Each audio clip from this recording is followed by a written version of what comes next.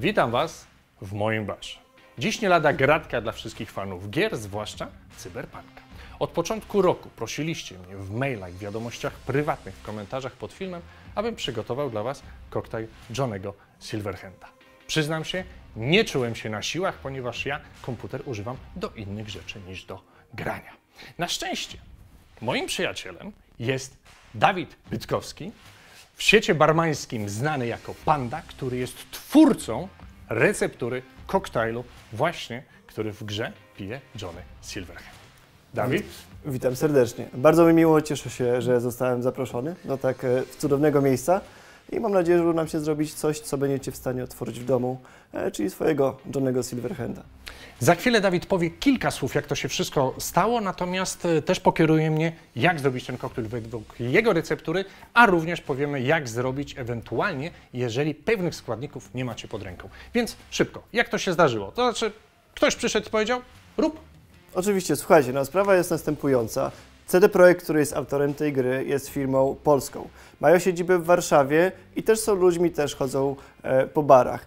A my, my mamy tą okazję, że e, jednym z naszych przyjaciół, stałych gości jest jeden z pracowników e, CD Projektu, który po prostu pewnego dnia po konkursie barmańskim e, dowiedział się, że udało mi się półfinał wygrać, wpadł i zapytał się, czy chciałbym stworzyć koktajl do gry.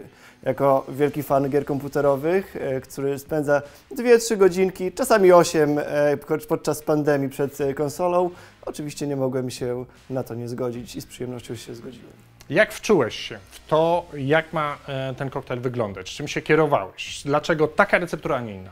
Jak, tak samo jak z każdym koktajlem potrzebny jest background, czyli musiałem się dowiedzieć więcej na temat świata gier, świata tej gry, a właściwie cyberpunka, e, jak wygląda natura, jakich składników można użyć i przede wszystkim e, główną inspirację, czyli samą postać Johnego Silverhanda. E, okazało się, że w, dookoła Night City, w którym dzieje się cała akcja gry, jest niewiele, jest głównie pustynia i tak zwane wastelandy, czyli w skrócie niewiele tam rośnie. Dlatego też e, doszedłem do wniosku, że coś, co lubi pustynię i z czego można zrobić alkohol, jest to wiele rodzajów agawy. Dlatego postanowiłem, że e, między innymi pierwszym głównym składnikiem będzie tequila. W tym przypadku srebr, srebrna tequila, gdyż jest to Johnny Silverhand, czyli tequila silver. Dawid, od czego zaczynamy? Przede wszystkim musimy wybrać szkło. Potrzebujemy e, niskiego szkła. Sam koktajl jest twistem na old fashion, lekko dopełnianym piwem. Dlatego potrzebujemy niskiej szklanki.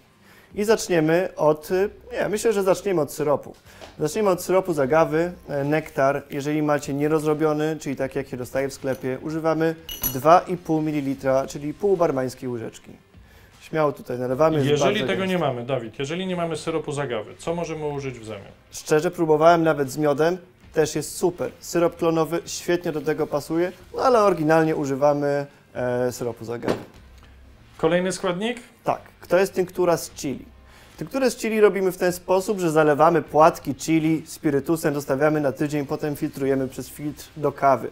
Jeżeli nie macie tinktury chili, wystarczy na ten moment ukroić plasterek takiego ostrego chili, wrzucić do środka, a potem wyciągnąć pod koniec robienia koktajlu. Jeden dasz. Tak, jeden daszyk tego, super. Poszło. Następny składnik, bitter limonkowy. Ile jego? Dokładnie, bittersa limonkowego e, dajemy jedną pipetę, albo jeden daszyk tak zwany. Jeżeli nie mamy? Jeżeli nie mamy bittersa limonkowego, to na przykład absynt świetnie się nada. Tak samo jak limonka odświeży wszystkie smaki w koktajlu. Ile tego absentu brojeczego? E, myślę, że spokojnie z dwa dasze. Rozumiem.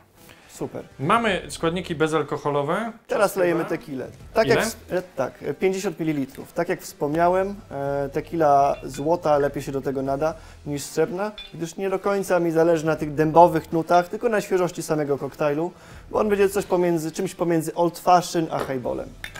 Okej. Wszystko dokładnie wymieszać Tak. w celu roz, rozbełtania tego e, syropu z agawy. Tak, syrop z agawy charakteryzuje się tym, że jest dosyć gęsty, w związku z czym musimy go ładnie tutaj rozmieszać. Jeżeli widzimy, że nie ma tutaj żadnych drobinek syropu, to po prostu zasypujemy wszystko lodem. Super. O, Jeszcze raz zamieszam. ekstra. Mieszamy i teraz tak. Potrzebujemy tyle płynu, co jest w szklance, tyle stopować piwem, czyli pół na pół. E, dokładnie. Jakie piwo? Tak, używamy. Doszedłem do wniosku, że w samej grze e, będzie piwo takie najbardziej dostępne, czyli jasne, proste, politycznie poprawne piwo, w tym przypadku niech to będzie Korona.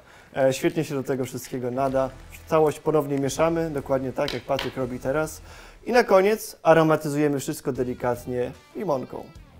Wiecie, w przyszłości może być problem z owocami, tak jak kaktusy rosną na pustyni, tak limonki mogą wtedy nie rosnąć, w związku z czym pewnie będą bardziej syntetyczne aromaty z limonki, no ale dla- dlatego zdecydowałem się nie dokwaszać, ale tylko dać odrobinę aromatu. I to jest Johnny Silverhand. Słuchajcie, próbuję Johnego Silverhanda.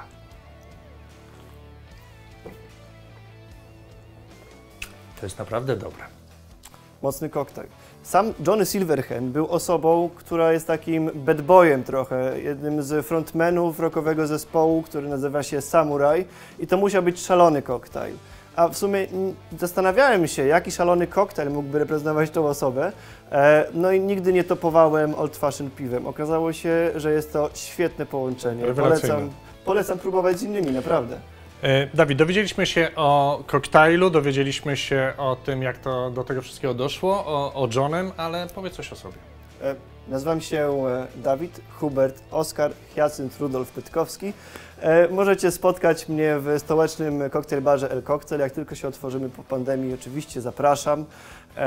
Zajmuję się, jak dobrze widzicie, też konsultingami, zarówno barów, jak i dla firm alkoholowych, niealkoholowych, tworzących gry. Zajmuję się też długoletnim projektem własnego baru, do którego nawet wczoraj kupiłem parę rzeczy. Miejmy nadzieję, uda mi się kiedyś go otworzyć. E, A w międzyczasie możecie znaleźć mnie na Instagramie, jeżeli wpiszecie pan, podkreślenie da, podkreślenie wid, czyli jakby połączenie panda i Dawid. E, Oczywiście znajdziecie wszystko w opisie e, samego wideo. Myślę, że tyle wystarczy. Kochani, zastanawiamy się z Dawidem, jak patrząc na Johnego Silverhanda, jaki koktajl wy byście zaproponowali. Więc jeżeli macie jakieś propozycje na koktajl dla bohatera, to wpiszcie w komentarzach e, pod filmem. E, Ja chciałem serdecznie podziękować jeszcze raz Dawidowi. Rewelacyjny koktajl, spróbujcie. Jeżeli będziecie chcieli oryginału od autora, zapraszamy do stołecznego El Cocktailo. Tak więc bardzo prosimy, kombinujcie, wymyślajcie, ale pamiętajcie, nie przesadzajcie. Dziękujemy serdecznie. Dziękuję.